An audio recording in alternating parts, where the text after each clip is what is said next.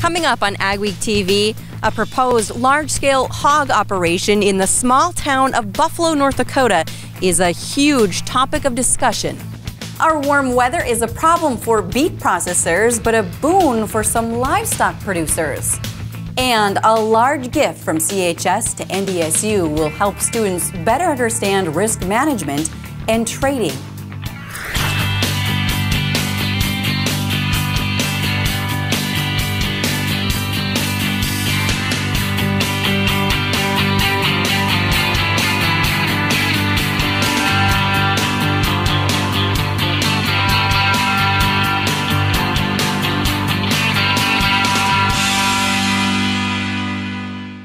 Welcome to Ag Week TV. I'm Shauna Olson. The warm spring weather is causing problems for sugar beet processing plants, but it's offering an unexpected benefit to livestock producers. When beet piles get too warm, the beets spoil and have to be disposed of. Minn-Dak Beet Cooperative usually sells beet pulp and tailings to livestock producers for feed, but as Mikkel Pates reports, this year they're giving some of them away, chipped whole beets at no charge just to make some use of them before they spoil. This year's warm temperatures have created a problem for processing sugar beets, but have created an unexpected boon for cattle producers next door. Because we're always looking at trying to get feed costs down per day for cows. I mean, cattle prices have been high, but yet it's, it's still a fairly tight margin. Anthony Schmidt is a feed manager for Gibbon Farm and Ranch at Milnor. They custom feed about 3,500 cows and calves. Some of these can get pretty big. They normally use a grass, hay, and straw mix with some corn pulp and beet pulp and tailings mixed in. That's what we mainly use it for. But this year they're getting something extra. In the place of, of corn silage. Whole sugar beets sliced into chips. Anytime you can feed a byproduct that, you know, is this waste to somebody else, at least you can run it through a cow and get some nutritional value out of it. It's a big benefit. Not only would the beets have gone to waste, it would have cost money to dispose of them. So it's a win-win for Minn-Dak and producers. For a number of, of people who are uh, getting this product, uh, it's going to help them out considerably when it comes to being able to come out in the black or maybe not so far in the red this year. And unfortunately, that's part of agriculture. Some years you just try to not be as deep in the red as you could have been. It's good to have livestock to pick up some of the beets in a year like this, but co-ops are hoping most of them will go through the factory. For Ag Week TV, this is Mikkel Pates. Alan Larson says this might not happen again. Minn-Dak is adding more venting for beet piles before next year. Sugar beets are a staple crop in the Red River Valley. Jonathan Knutson attended the recent International Sugar Beet Institute in Grand Forks and has more on the biggest issues currently facing the sugar industry. Sugar beets aren't like most other crops. They're not bought and sold at the local grain elevator, and they're not widely grown. American Crystal Sugar, based in Moorhead, Minnesota, is the nation's largest sugar producer. We have resolution to the biggest threat that we've had for a long time, which is a trade dispute with Mexico. It's not working perfectly. It's working pretty well, but there are some, some, some minor revisions that we'd like to see made that will make it work better. I recently spoke to uh, you know cane growers in, in the South, and they're not jumping up and down just because a couple candy manufacturers have uh, uh, uh you know want to switch from GMO beets to uh, non-GMO cane because they know in a couple of years they could well have a variety there. That's an issue that could continue. I do not see that going away. This year, this 2015-16 uh, crop year has been hurt a little bit by the warm winter that we've had, but we assume that Minnesota and North Dakota will always have cold weather and that, that will mean it will store the crop and, uh, and deliver good returns to our growers. The 16 beet crop isn't even in the ground yet, but given current prices, the financial outlook is promising. For Ag Week, I'm Jonathan Knutson. North Dakota soybean farmers recently learned about the challenges facing their biggest competitors, Brazilian farmers. Farming in Brazil was one of the topics at the North Dakota Soybean Council's Marketing and Risk Management Seminar held recently in Fargo. Reporter Tracy Frank is here to fill us in. Tracy, what are some of the challenges they're facing in Brazil? Shauna Walter Lanza, a graduate student studying agricultural economics at NDSU, is from Brazil. He says transportation is one of his country's biggest challenges. Transportation accounts for 40% of the price of grain in Brazil, compared to 10% in the U.S. Trucks are the primary transportation method, but more than 80% of roads in Brazil are not paved. Because of this, 2 to 3% of soybeans fall from the trucks during transport.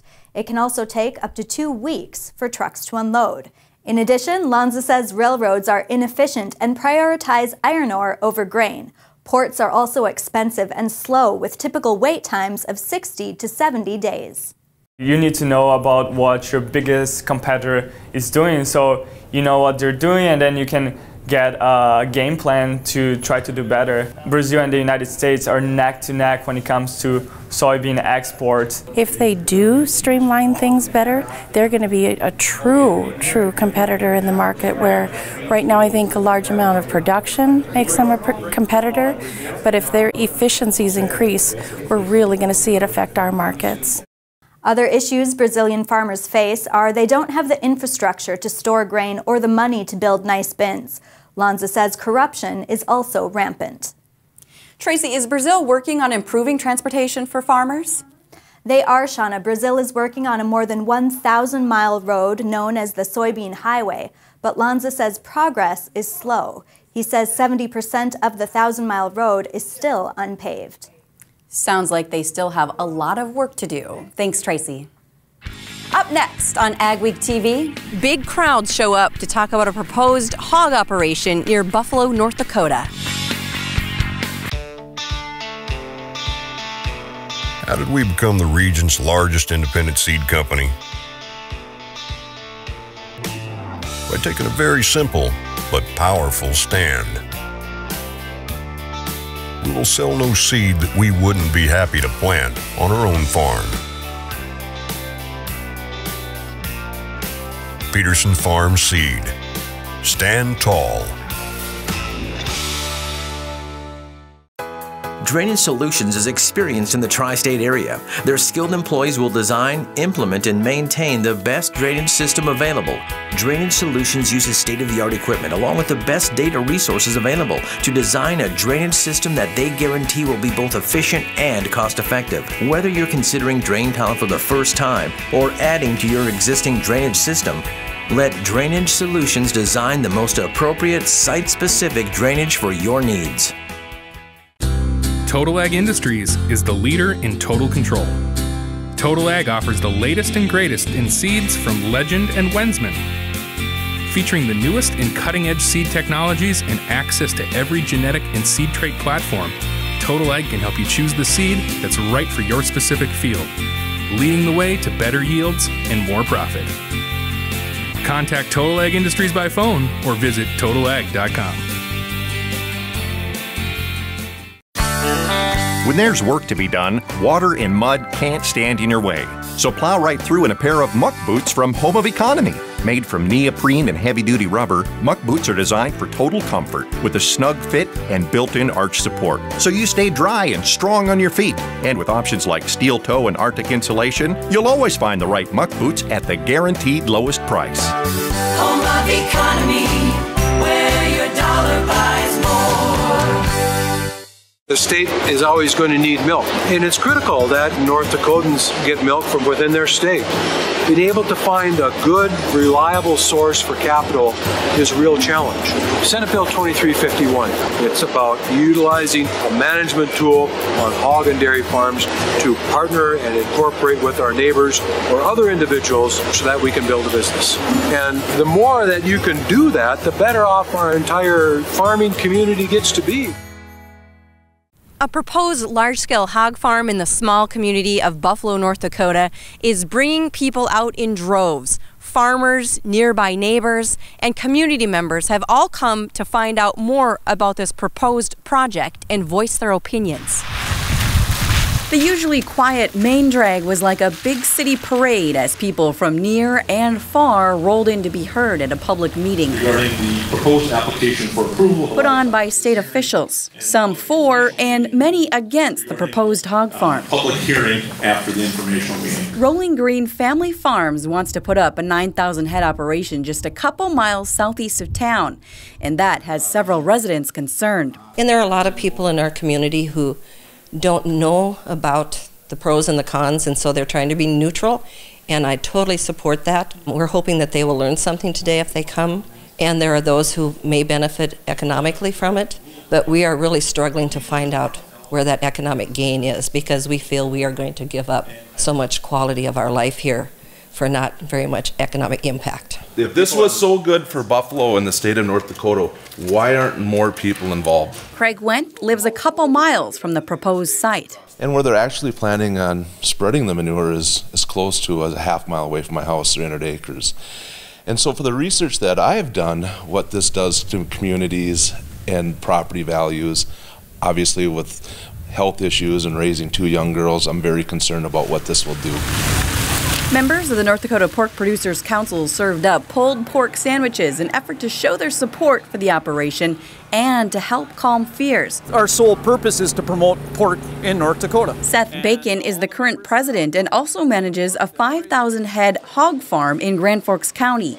It employs about 20 full time people. When our farm was first started, there was a little pushback from some of the, the people in the community just because they didn't know what they didn't know. Till now, 18 years later, we are, a, I I would in my opinion, a valued, respected member of our the business community. And like I said, we bring a lot of economic value to the um, to our town. The grocery stores, the gas stations, the hardware stores, the auto parts stores. You know, we all spend our money there. This will be the sixth one here in the state. Craig Jarolimek, a pork producer from Forest River, North Dakota, and past president of the National Pork Council, says the pork industry in North Dakota needs to grow. He says this planned operation will be a boost for farmers, especially those who raise corn. And the basis, it could be as much as 50 cents to even a dollar a bushel. I mean, it could have a quite a bit of basis. It'll be more of a local impact because grain won't travel very far.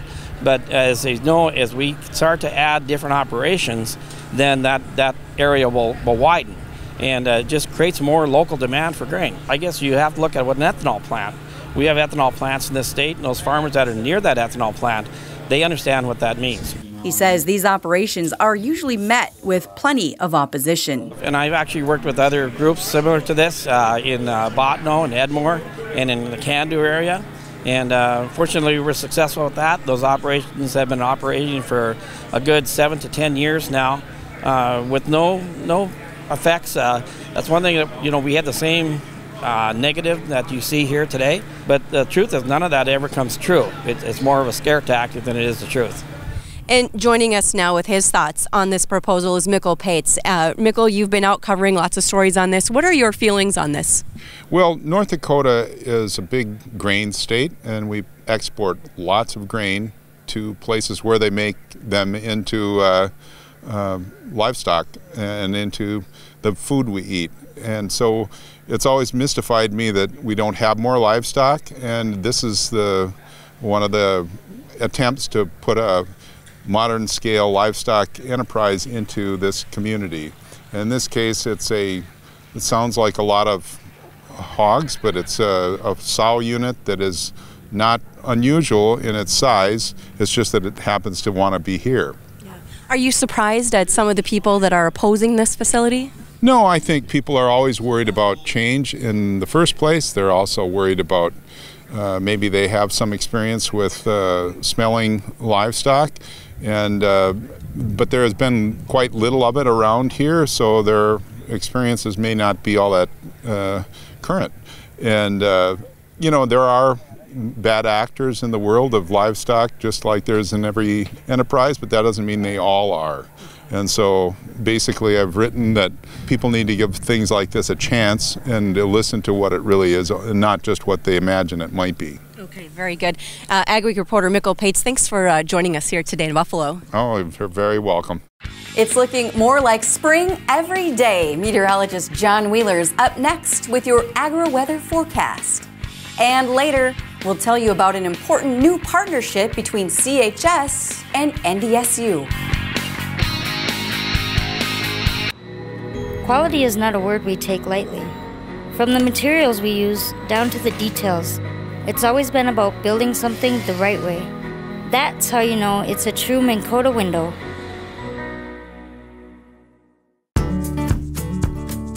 GrainMax has over 25 years experience and we know there's not a lot of time to get the harvest off the field and safely in the bin.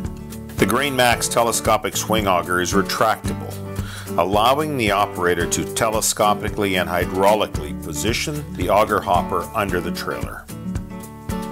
The operator never has to climb under the trailer to wrestle the swing hopper into position. Contact your nearest dealer or call North Country Marketing.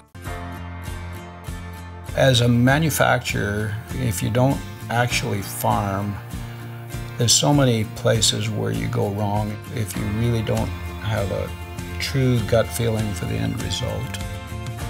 From the seed placement, fertilizer placement, packing, weigh scales, variable rates, everything that we have is put there to make you more money. At the end of the day, we guarantee that with Super Seed Guarantee. Tightline Drainage is the Red River Valley's most trusted name for tile. Tightline uses the Port Hydromax plow and also Port Hydromax trenchers for installing our laterals and mainline accurately. The science behind drain tile proves healthier plant growth and greater yields. Tightline Drainage also sells pipes, fittings, tiling plows, Landoll tillage equipment, and more. Tightline Drainage is owned and operated by experienced agricultural professionals who understand the need for progressive agricultural practices. Call Tightline Drainage for a free drainage design today at 701 235 1900. This is Dennis Belisky reminding you we do auctions and we do them well. You've built your operation with hard work, and when it's time to sell, all or part, you deserve the best. Details from repairs and preparation to promotion and settlements are not routine. Chances are you'll only do this once, so we'll tailor an auction just for you and get it done right. On site at your farm or added to one of our highly successful Alaris Center auctions, we have the skill, reputation, and integrity to meet your needs with best in class commitment and quality service. Find us at resourceauction.com or call 701 757 4015. I look down the line and I see every step this window goes through and the people that help create it. I love working with a team that truly cares about helping make true Minn Kota windows. Weather portion of Ag Week now. It's the most exciting time of the year for weather, really, in many ways. Late March and April, which is a funny way of really saying that it's the most difficult time to forecast the weather. Let's start with the basics. U.S. Drought Monitor. Drought continues California. The deep level uh, soil moisture profile extremely dry, although they've had some rain. And across North Dakota, things are fairly dry, with most of North Dakota either dry or in moderate drought. Nothing severe or anything like that, just a lot of fairly dry soil. But what does that mean? That's the deep moisture profile. When we actually look at soil conditions in the topsoil around the United States, this is more a reflection of recent rainfall. Pacific Northwest is wet. Northern California is wet. Southern California is not really wet, but it's not so parched because they've had rains down here. It's just that the overall moisture profile in Southern California, they're still way behind after several years of drought. Much of the southern plains, the winter wheat area is not too bad off, really. In fact, part of the panhandle is fairly wet.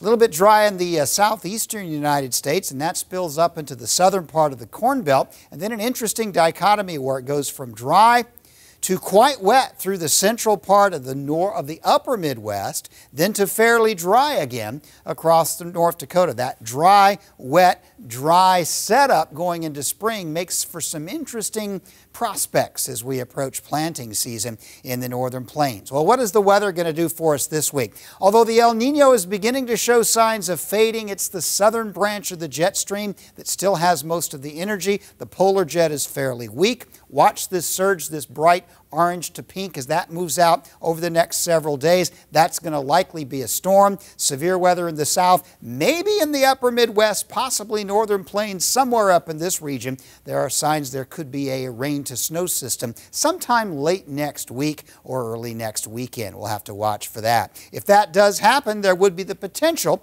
for some snow in some parts of the northern plains. Looks wet still Pacific Northwest, fairly dry or just light showers. Most of southern California, as I mentioned, much of the, uh, the mid-south is going to be stormy this upcoming week, probably some tornadoes once again, and a chance of moderate to heavy rain or snow, not sure how far west this will be. It may be another storm for Wisconsin and Iowa, but we'll have to keep our eye on that possibility. The last, uh, the last week of the uh, forecast, which will be the first full week of April, is looking usual, wet in the Pacific Northwest, stormy in the deep south and colder and drier here in the northern plains. I'm fairly convinced the first week of April will be the coldest weather we've had relative to average in some time. A cold start to April. I do believe warm and dry weather will return before the month is over.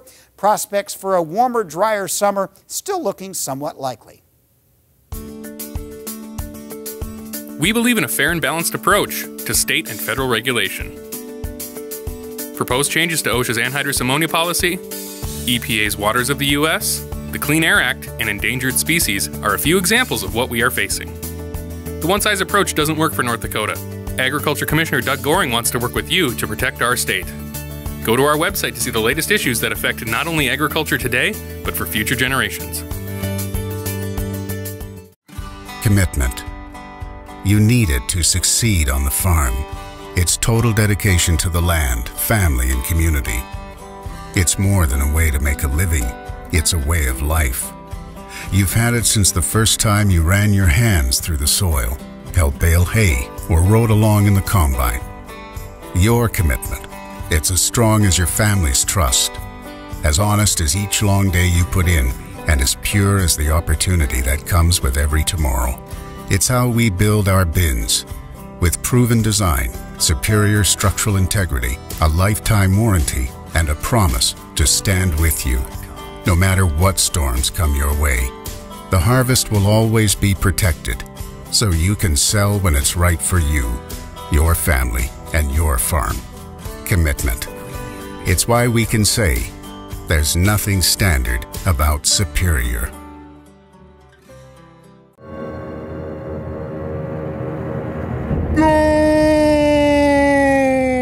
In today's marketplace, maximizing your harvest is more valuable than ever. Improve the efficiency of your operation by adding a Crary air reel to your harvester today. A continuous stream of high velocity air quickly feeds crop back to the auger, getting your crop off the cutter bar and into the header. This minimizes shattering and reduces the amount of header loss. At harvest time, every second counts and every bean counts, so you can count on Crary. It's time to demand more. With Micro Essentials, you get more from every acre. Through our fusion technology, only Micro Essentials combines four vital nutrients into one powerful granule, ensuring uniform nutrient distribution and increased nutrient uptake. The innovation behind our fusion technology means you'll grow stronger, healthier plants. Micro Essentials. Get more from every acre. Ag Week TV, sponsored by Peterson Farm Seed. CHS is the nation's leading farmer owned cooperative. NDSU is one of the leading land grant research universities in the country. This week, the two entities continued their tradition of partnership, holding CHS Day at NDSU. CHS leaders who were also NDSU alumni held a classroom takeover exploring global market risk and volatility scenarios and sharing their experiences in commodity trading. They're investing in us students, especially with these research opportunities for us. Um, they're giving a lot, giving us a lot to look forward to, and getting us really excited about being in the agriculture industry. Around the globe, and, I, and I've traveled a lot of different places. People know NDSU and, and how valuable the education here is in agriculture, and to share it with students and to give them a little excitement about about the industry that they're in is just really it's really fun and, and kind of pleasing personally because I was I was there at one point. CHS also continued its investment in the school with a $2.5 million grant to create an endowed chair in risk management and trading. It's the largest of many CHS donations to the school. Risk is inherent in farming and agriculture, and so with this state of the art opportunity, we know students are going to be well prepared for a career, whether it's back on the farm or working in agriculture here in the United States or on a global platform. In 2011, CHS donated $250,000 to NDSU for developing the commodity trading room in Barry Hall and has given more than $100,000 in scholarships to NDSU students, among many other donations. GMOs have become a hotly debated topic. Ag Week's Jonathan Knutson gives his thoughts on the issue after this.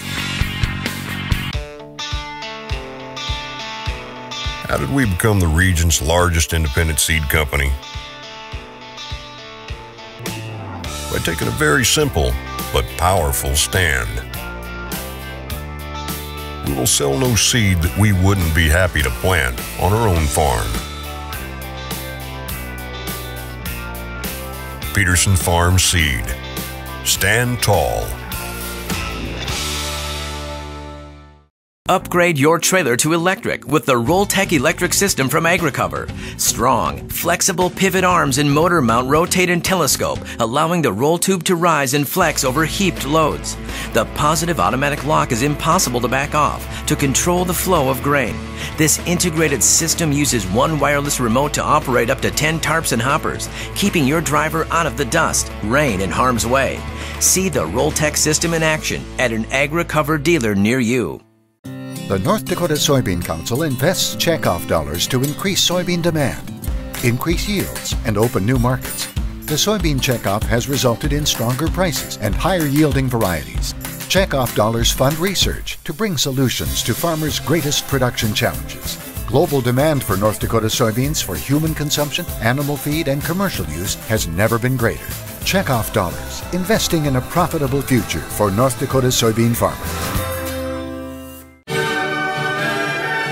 I'm Amy Anderson, pro golfer.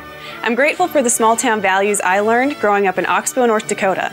Those values led me to great success at NDSU and a great year on the LPGA Tour, but I'll keep striving to become the top women's golfer in the world.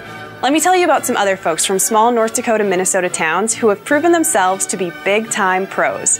The market advisory firm Progressive Ag of Fargo, North Dakota. For the past eight years, they've consistently beaten Chicago Board of Trade firms by a lot. In corn, they beat the other top marketing firms in the country by 65 cents a bushel. For 100,000 bushel corn farmer, that's $65,000 a year better than the number two firm. For a 40,000 bushel soybean farmer, over a dollar a bushel extra, $40,000 better than the number two firm. So team up with the big time pros from Progressive Ag and let them put their North Dakota values to work for you.